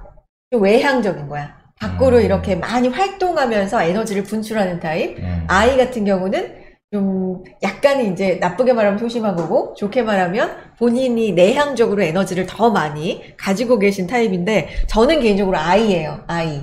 아이가 뭐라 그랬어요? 내향적으로 약간 내향적. 어, 조금 어.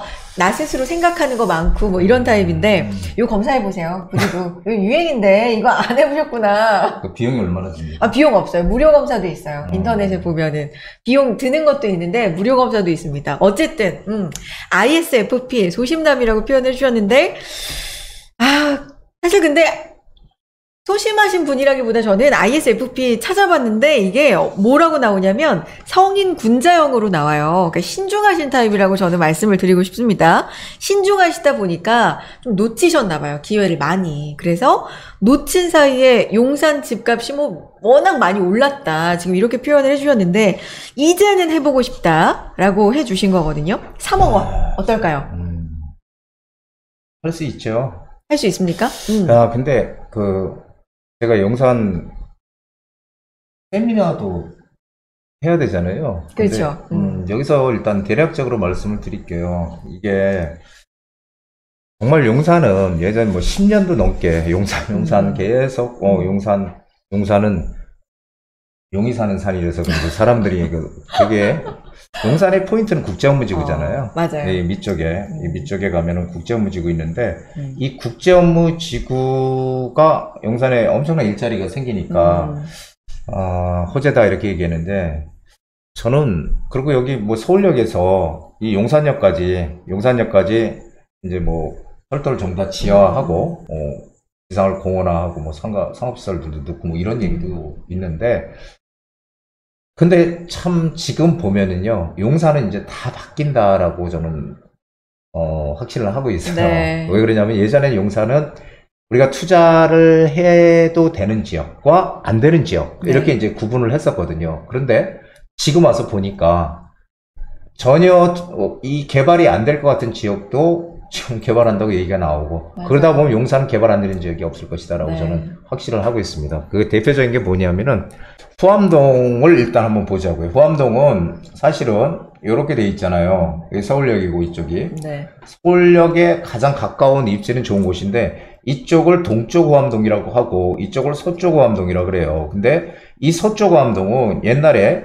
특별 계획구역 즉 이걸 줄여서 요즘은 특계구역이라고 얘기를 하더라고. 특계구역. 오. 예, 특계 구역이라고 특별 계획 구역으로 세 개 구역으로 나누어서 일단 2000년도 중반부터 이미 지정이 돼서 여태까지 개발은 안 되고 있지만 지정이 돼 있는 곳이에요. 단독주택들은 상당히 많은 곳입니다. 오래된 빌라들 있고 이 동쪽은 여기는 사실은 개발이 안 되는 곳이었거든요. 개발이 안 돼, 여기는.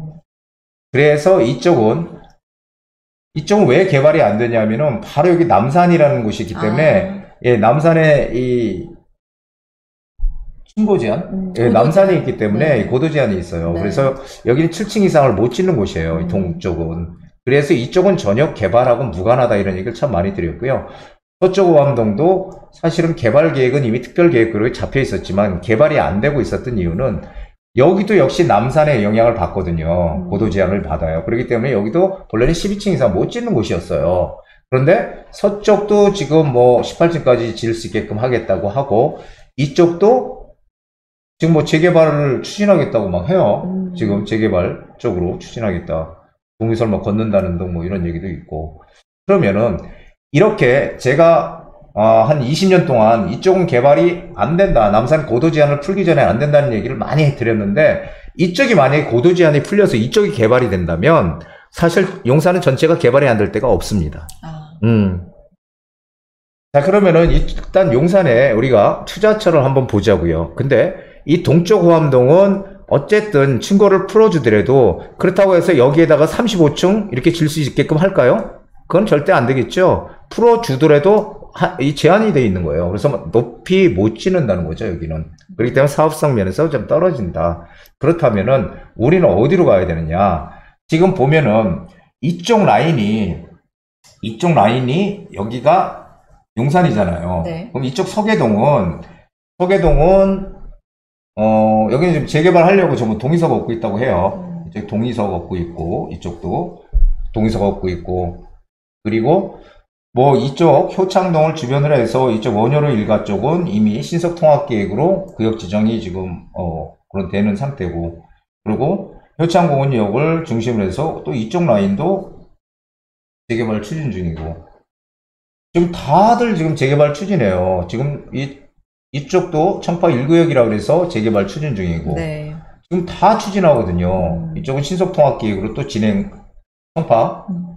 진행하고 있고 전부 다 지금 재개발 진행을 하고 있습니다. 이런 데 들어가면 되는데 이런 데는 투자금이 너무너무 비싸죠, 지금. 어마어마하게 비싸요. 그래서 3억까지 만약에 투자를 한다면 지금 여기 숙명여자대학교 캠퍼스를 중심으로 해서 이쪽이 청파동 3가고 이쪽이 2가거든요. 이쪽이 2가. 여기가 지금 재개발 추진하고 있는 곳이고 그래서 이 상가는 아직까지 2가 상가 이쪽은 지금 개발을 진행하고 있는 데는 아니에요. 근데 이 상가는 이 하숙집이라든지 이런 것들이 되게 많아요. 임대 수요를 받는 그런 목적으로. 그래서 이쪽은 좀 개발이 어려울 것 같고. 그래서 이쪽 2가 쪽이 지금 이쪽 라인으로 뭔가 진행이 될 것이다 라고 좀 보여지거든요. 그래서 이 한마디로 쉽게 얘기하면은 빈 땅을 찾으면 됩니다. 지금 재개발에 안 들어가 있는 지역 있죠? 재개발 지금 추진 안 하고 있는 지역. 거기에 무조건 들어가면 되는데 지금 어, 여러분들이 한, 하나씩 관가, 어, 좀 관가하지 말아야 될 것은 뭐냐면은, 제가 이 동영상에도 제가 강의를, 어, 우리 방송을 할 때, 신축 빌라를 사야 될지, 구축 빌라를 사야 되는 게 맞는지에 대한 그런, 어, 동영상도 올려놨었는데요. 그런데 중요한 거는, 어, 되도록이면은, 신축을 구입을 하라고 전 얘기를 드렸습니다. 왜냐하면은, 신축을 구입을 해야, 임대사업자도 낼 수 있고요. 물론, 어, 임대사업자 내게 되면은 또 혜택이 있죠. 임대사업자를 내게 되면은 취득세가 85%가 감면이 돼요. 엄청나게 크잖아요. 지금 취득세 8%, 12%니까 2주택이면 8%, 3주택 12% 엄청나게 크잖아요. 그 80% 감면이 어마어마한 거거든요. 그리고 또 자금 이 조달 계획서를 또 안 내도 되거든요. 안 내도 돼. 그 기준이 얼마냐면은 6억이에요. 6억. 음. 즉 매매가가 6억이 넘어가지 않는 게 있다. 이건 무조건 구입하면 됩니다. 매매가가 6억이 넘어가지 않는 게 있다. 단 신축 중에서 어, 그래야지 우리가 혜택을 받으니까 이런 얘기를 드리는 거거든요. 지금 용산 6억 안 넘어간 들이 별로 없을 거예요. 네, 그러니까 그리고 또 하나 제가 이 서계 청파동, 성파동 쪽에 에, 투자를 잘 찾아보라고 말씀드린 이유는 어, 용문동도 있다 이렇게 얘기하는 분들이 있거든요. 이쪽 용문동도 네. 있는데 왜 용문동은 얘기 안 하냐? 용문동은 이쪽에 신축 빌라들이 되게 많이 들어와 있어요. 용문시장 이쪽 라인으로는 물론 이쪽에는 예, 지금 용문동 여기 삼각형 부분, 어, 삼각형 부분은 재개발을 어, 지금 뭔가 공공으로라도 진행을 하려고 하는 움직임이 있는 곳이지만 이쪽은 전혀 움직임이 없어요. 여기 시- 시장인 이쪽은. 그래서 이쪽은 안 되고 이 서계 청파동이 지금 현재 어, 서울시장의 공약에도 들어있는 걸로 알고 있거든요. 서계 청파 이쪽 라인을 한마디로 노주거지를 개발하겠다는 그런 공약도 있는 걸로 알고 있어요. 그러면은 제가 말씀드렸지만 어쨌든 이쪽에 지금 어, 이 호- 동호암동이 개발이 된다면 용산 전체는 개발 안 될 데가 없다라고 보여져요. 그러면은 6억 이하짜리 신축 무조건 사세요. 그거는 어, 정말 이번이 마지막 기회다. 이제 다 6억은 다 넘어갈 것이다라고 보여져서 예, 그렇게 좀 조언을 드리고 싶습니다. 이제라도 항상 우리가 늦었다고 생각할 때가 빠른 때잖아요. 그러니까 늦었다고 생각할 때 저지르십시오. 이번이 기회가 될 것입니다. 네. 용산 투자에 대해서 자세하게 설명을 해주셨는데, 이 용산 투자에 대해서는 6월의 마지막 날, 6월 30일에 또 세미나를 준비하고 계시니까, 얼마나 더 자세하게 설명해 주시겠어요? 궁금하신 분들은 세미나에 참석해 보셔도 정말 큰 도움 될 것 같고요. 자세하게 준비해 놓고 계시죠? 네, 준비 음. 열심히 하고 있고요. 음. 어, 또 많은 걸 알려드리도록 노력하겠습니다. 알겠습니다. 자, 이렇게 전체적인 방향 잡아드렸으니까 또 통화 한번 하셔도 좋을 것 같네요. 전화 주세요. 용산, 아, 이렇게 큰 방향에 따라서 한번 알아보시고, 여기 어때요? 저기 어때요? 이러면서 또 한번 전화 주시면 자세한 상담 도와드리겠습니다. 자, 전화와 문자, 그리고 이메일 주소까지 열어놓고 있으니까요. 무료 상담도 받아보시고, 비스포크 청소기 행운의 주인공도 함께 돼보시는 건 어떨까요? 부디의 부동산 고민 타파 도와드렸습니다.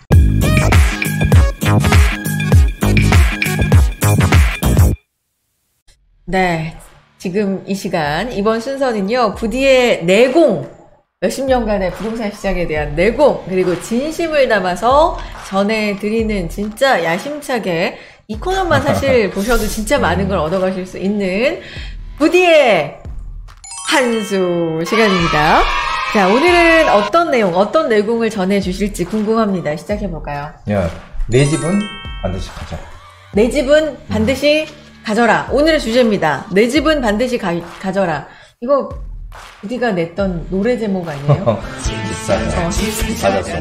맞았어. 어. 근데 혹시 네. 어, 집 지금 가지고 계신가요? 내 집. 음, 내 집. 내 집. 어, 프라이버시를 지금 쓰시는 거예요? 응?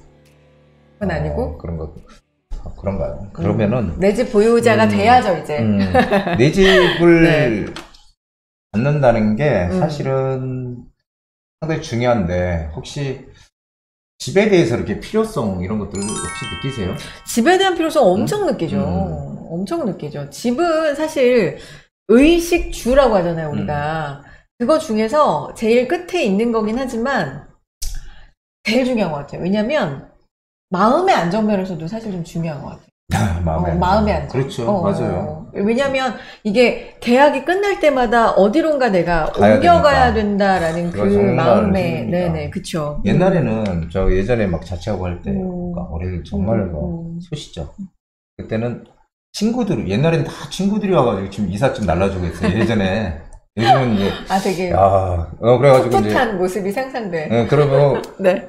그러면은, 이제 이삿짐 막, 전부 다 그냥 막 힘으로 날르고, 그리고 나서, 나도 짜장면 먹는 거죠. 아 너무 좋죠. 이삿 음. 날은 무조건 짜장면 짜장면. 진짜. 참 그런 추억이 네. 새록새록한데, 이제는 전부 다 이삿짐 센터. 음.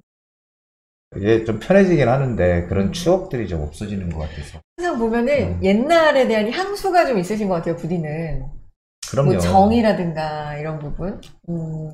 항상 그 이렇게 어렵게 살다 보면은 음. 힘들게 살다 보면은 그래서 자기가 어느 정도 자존감을 해서 이렇게 올라오잖아요. 네. 그러면은 어, 과거의 그런 기억들 그런 것들을 자꾸 되새기게 돼요. 음. 그래서 어, 이 초심이라는 거 있잖아요. 음, 초심. 어, 내가 아무리 뭐 정말 돈이 많고 지위가 높더라도 초심을 잊지 말자. 네, 그게 상당히 중요한 것 같습니다. 맞습니다. 네. 다시 돌아가서, 그럼 초심으로 돌아가서, 내 집을 갖자라는 거 음. 주제잖아요. 부디의 한 수. 그래서, 하고 싶으신 얘기는 내 집을 갖자? 끝? 음. 음. 아니죠. 네. 집은 근데 왜 그 사람들이 음.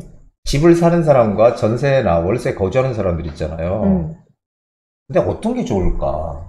집을 좋을까? 어, 사는 게 좋을까? 아니면 전세로? 왜냐하면은 지금 지난 정부에서도 계속 그런 얘기 했잖아요. 집은 오로지 거주의 목적으로만 봐라. 음. 투자의 목적으로 보지 마라. 음. 이렇게 어, 목적으로 사면 안 된다. 그래서 계속 어, 다주택자들 규제하고 뭐 이랬잖아요. 그래서 음.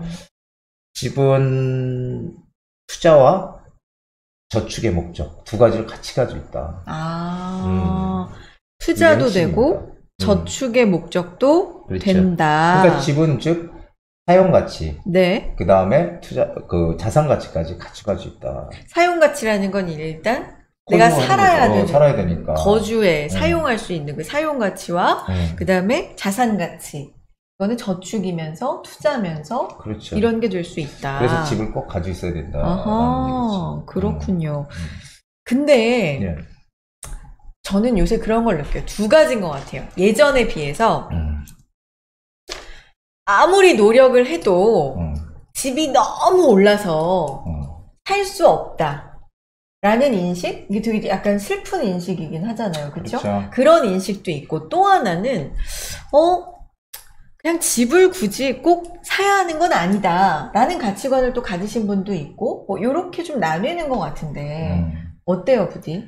네가 보기에는? 근데 음, 그 사실은 네 우리나라는 음. 전세 제도라는 게 있기 때문에 그렇죠 굳이 내 집을 사지 않아도 되죠.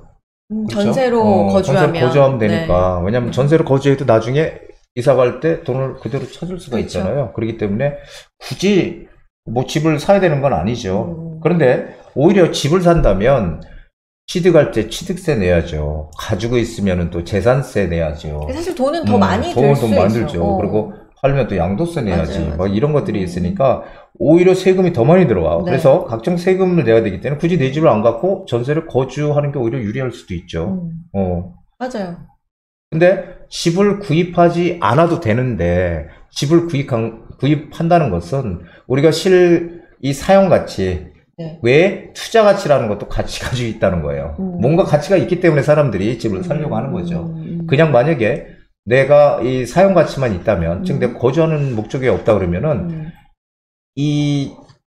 매매가하고 전세가하고 이 같아야 돼요. 음, 그 외국 사람들은 아니 새 집을 갖다가 매매가보다 싸게 전세를 준다고 음, 이해를 못해. 음, 왜냐면은 아니, 전세를 왜 싸게 줘? 음. 새 집을 외국 사람들 은 전혀 이해 못합니다. 이게 네, 지금까지 음. 부디의 말을, 말씀을 제가 좀 이해를 해보면 이런 거예요. 물론, 전세로 거주할 수도 있고, 그게 나쁜 건 아니다. 나중에 전세금은 그대로 돌려받을 수도 있고. 근데, 그거는 그냥 불지는 않잖아요. 불어나진 않잖아요. 그렇죠. 그런데 음. 집을 산다는 건 내가 거기에 거주하면서 투자나 투자 가치가 아, 있는 자산 거죠. 가치가 음. 있으니까 점점 불어나는 효과를 또 얻을 수 있다. 그렇죠. 그래서 지난 정부에. 어. 부동산 정책의 정말 대표적으로 부동산 정책의 실패다 이런 얘기 많이 하잖아요. 그 부동산 정책이 실패한 이유가 바로 이것을 간과한 거죠. 음. 이 집이라는 거는 사용 가치 플러스 자산 가치, 즉 투자 음. 가치가 있다는 거를 음. 간과한 어, 결과물이 아닌가 싶습니다. 그런데 음. 여기서 하나 이제 뭔가 이 의를 제기를 하자면, 네. 음, 어, 전세는 물론 그래도 되지만, 전세로 살아도 물론 너무 좋지만, 그 돈을 그대로 돌려받는 것도 굉장히 좋은 일이지만, 그럼 그냥, 예를 들면 5천만 원은 나중에 돌려받을 때도 5천만 원이잖아요. 그렇죠. 근데 부디 주장은 집을 사면 음. 집의 가치는 자산 가치는 올라간다. 음. 라는 얘기인데, 그래서 집을 사는 게 더 좋다라는 얘기인데, 이거는 집값이 상승한다, 오른다는 전제가 있을 때만 맞는 얘기 아니에요? 그렇죠. 어, 어. 어, 집값이 올라간다는 전제가 그러니까, 붙어야죠. 예. 예. 근데 여태까지 집값은 계속 올라왔거든요. 그게 아. 즉 인플레이션이에요. 음. 인플레이션이라는 거는 돈의 음. 가치가 하락하고 물가가 오르는 거거든요. 음. 돈의 가치 하락. 자, 음. 그러면은 어, 쉽게 얘기하면은 뭐 한뭐 50년 전에 짜장면 값이 얼마인가. 음. 이런 것들 가만히 보면 돼요. 부동산으로 따지면 제가 뭐 예전에 방송할 때 많이 얘기했지만 1988년도에 음아파트 8천만 원이었다. 네. 지금은 어마어마하다. 음. 어, 지금은 25억을 넘어가니까. 음.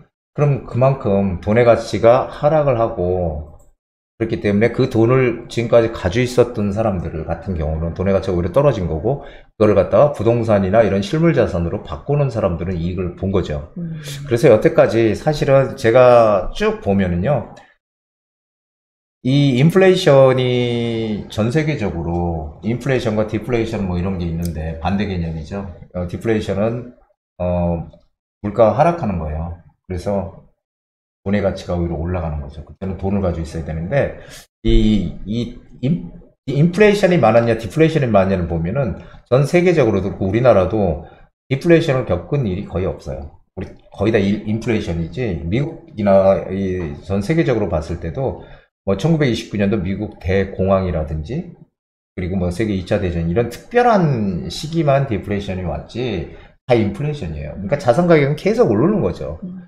그래서 우리도 지금 여태까지 집값이 많이 올라가는 거예요. 그러니까 물가가 상승하고 돈의 가치가 떨어지면은 실물 자산의 가치는 올라가는 거니까 음. 여태까지 그래 왔다는 거죠. 그래서 이 돈의 돈이 막 시중에 드- 늘어나고 통화량이 증가한다는 게 얘기하는데 그렇게 되면은 결국은 어떻게 돼요? 현금을 가진 사람 손해를 보게 되는 거고 이 실물 자산 부동산만 있는 거 아니거든요. 그렇죠. 부동산도 있고 뭐 금도 있고 음. 또 뭐 있어요? 골동품도 있고 그림도 있고 맞습니다. 예, 네, 이런 네. 게다 뭐 실물 자산이니까. 그런데 그래서, 음. 여기서 또 하나 아니 갖기 싫어서 안 가는 게 아니잖아요. 음. 집은 너무 올랐잖아. 너무 비싸잖아요. 이거에 대해서 어떻게 보세요? 음. 집값이 떨어질까요? 어? 집값이 떨어지지는 않을 것 같아요. 일시적으로 우리가 뭐 IMF나 금융위기 때 봤지만 일시적으로 하락 하는 시- 순간이 분명히 온다. 그러면은 그때 가서 집을 사면 되지 않겠냐 이렇게 생각하는 분들이 정말 많거든요. 음. 그런데 그 막상 정말 뭐 우리가 IMF 때나 이런 때처럼 한30% 빠졌어 가격이. 네. 그래도 못 사. 더 떨어질 것 같거든. 항상 사람은 그렇습니다. 그래서 사람은 고점, 저점을 정확히 알 수가 없어요. 막상 네. 대봐야 하는 거지. 음. 그래서 이런 어떤 흐름을 잘 봐야 되는데, 어, 저는 해답은 명확한 거예요. 그러니까 인플레이션이 만약에 지속이 음. 계속 된다는 전제 조건이 붙는다면, 그렇다면은 우리는 실물 자산을 가지고 있어야 되는 게 맞는 거고, 그렇지 않고, 어유 이제는 뭐 진짜 디플레이션이 온다든지 인플레이션이 이제 갔다 완전히 이렇게 되면은 그때는 부동산을 가지고 있으면 안 되겠죠. 음. 그래서 좀, 좀 단순하게 한번 생각해 보는 게 좋을 것 같습니다. 네. 음.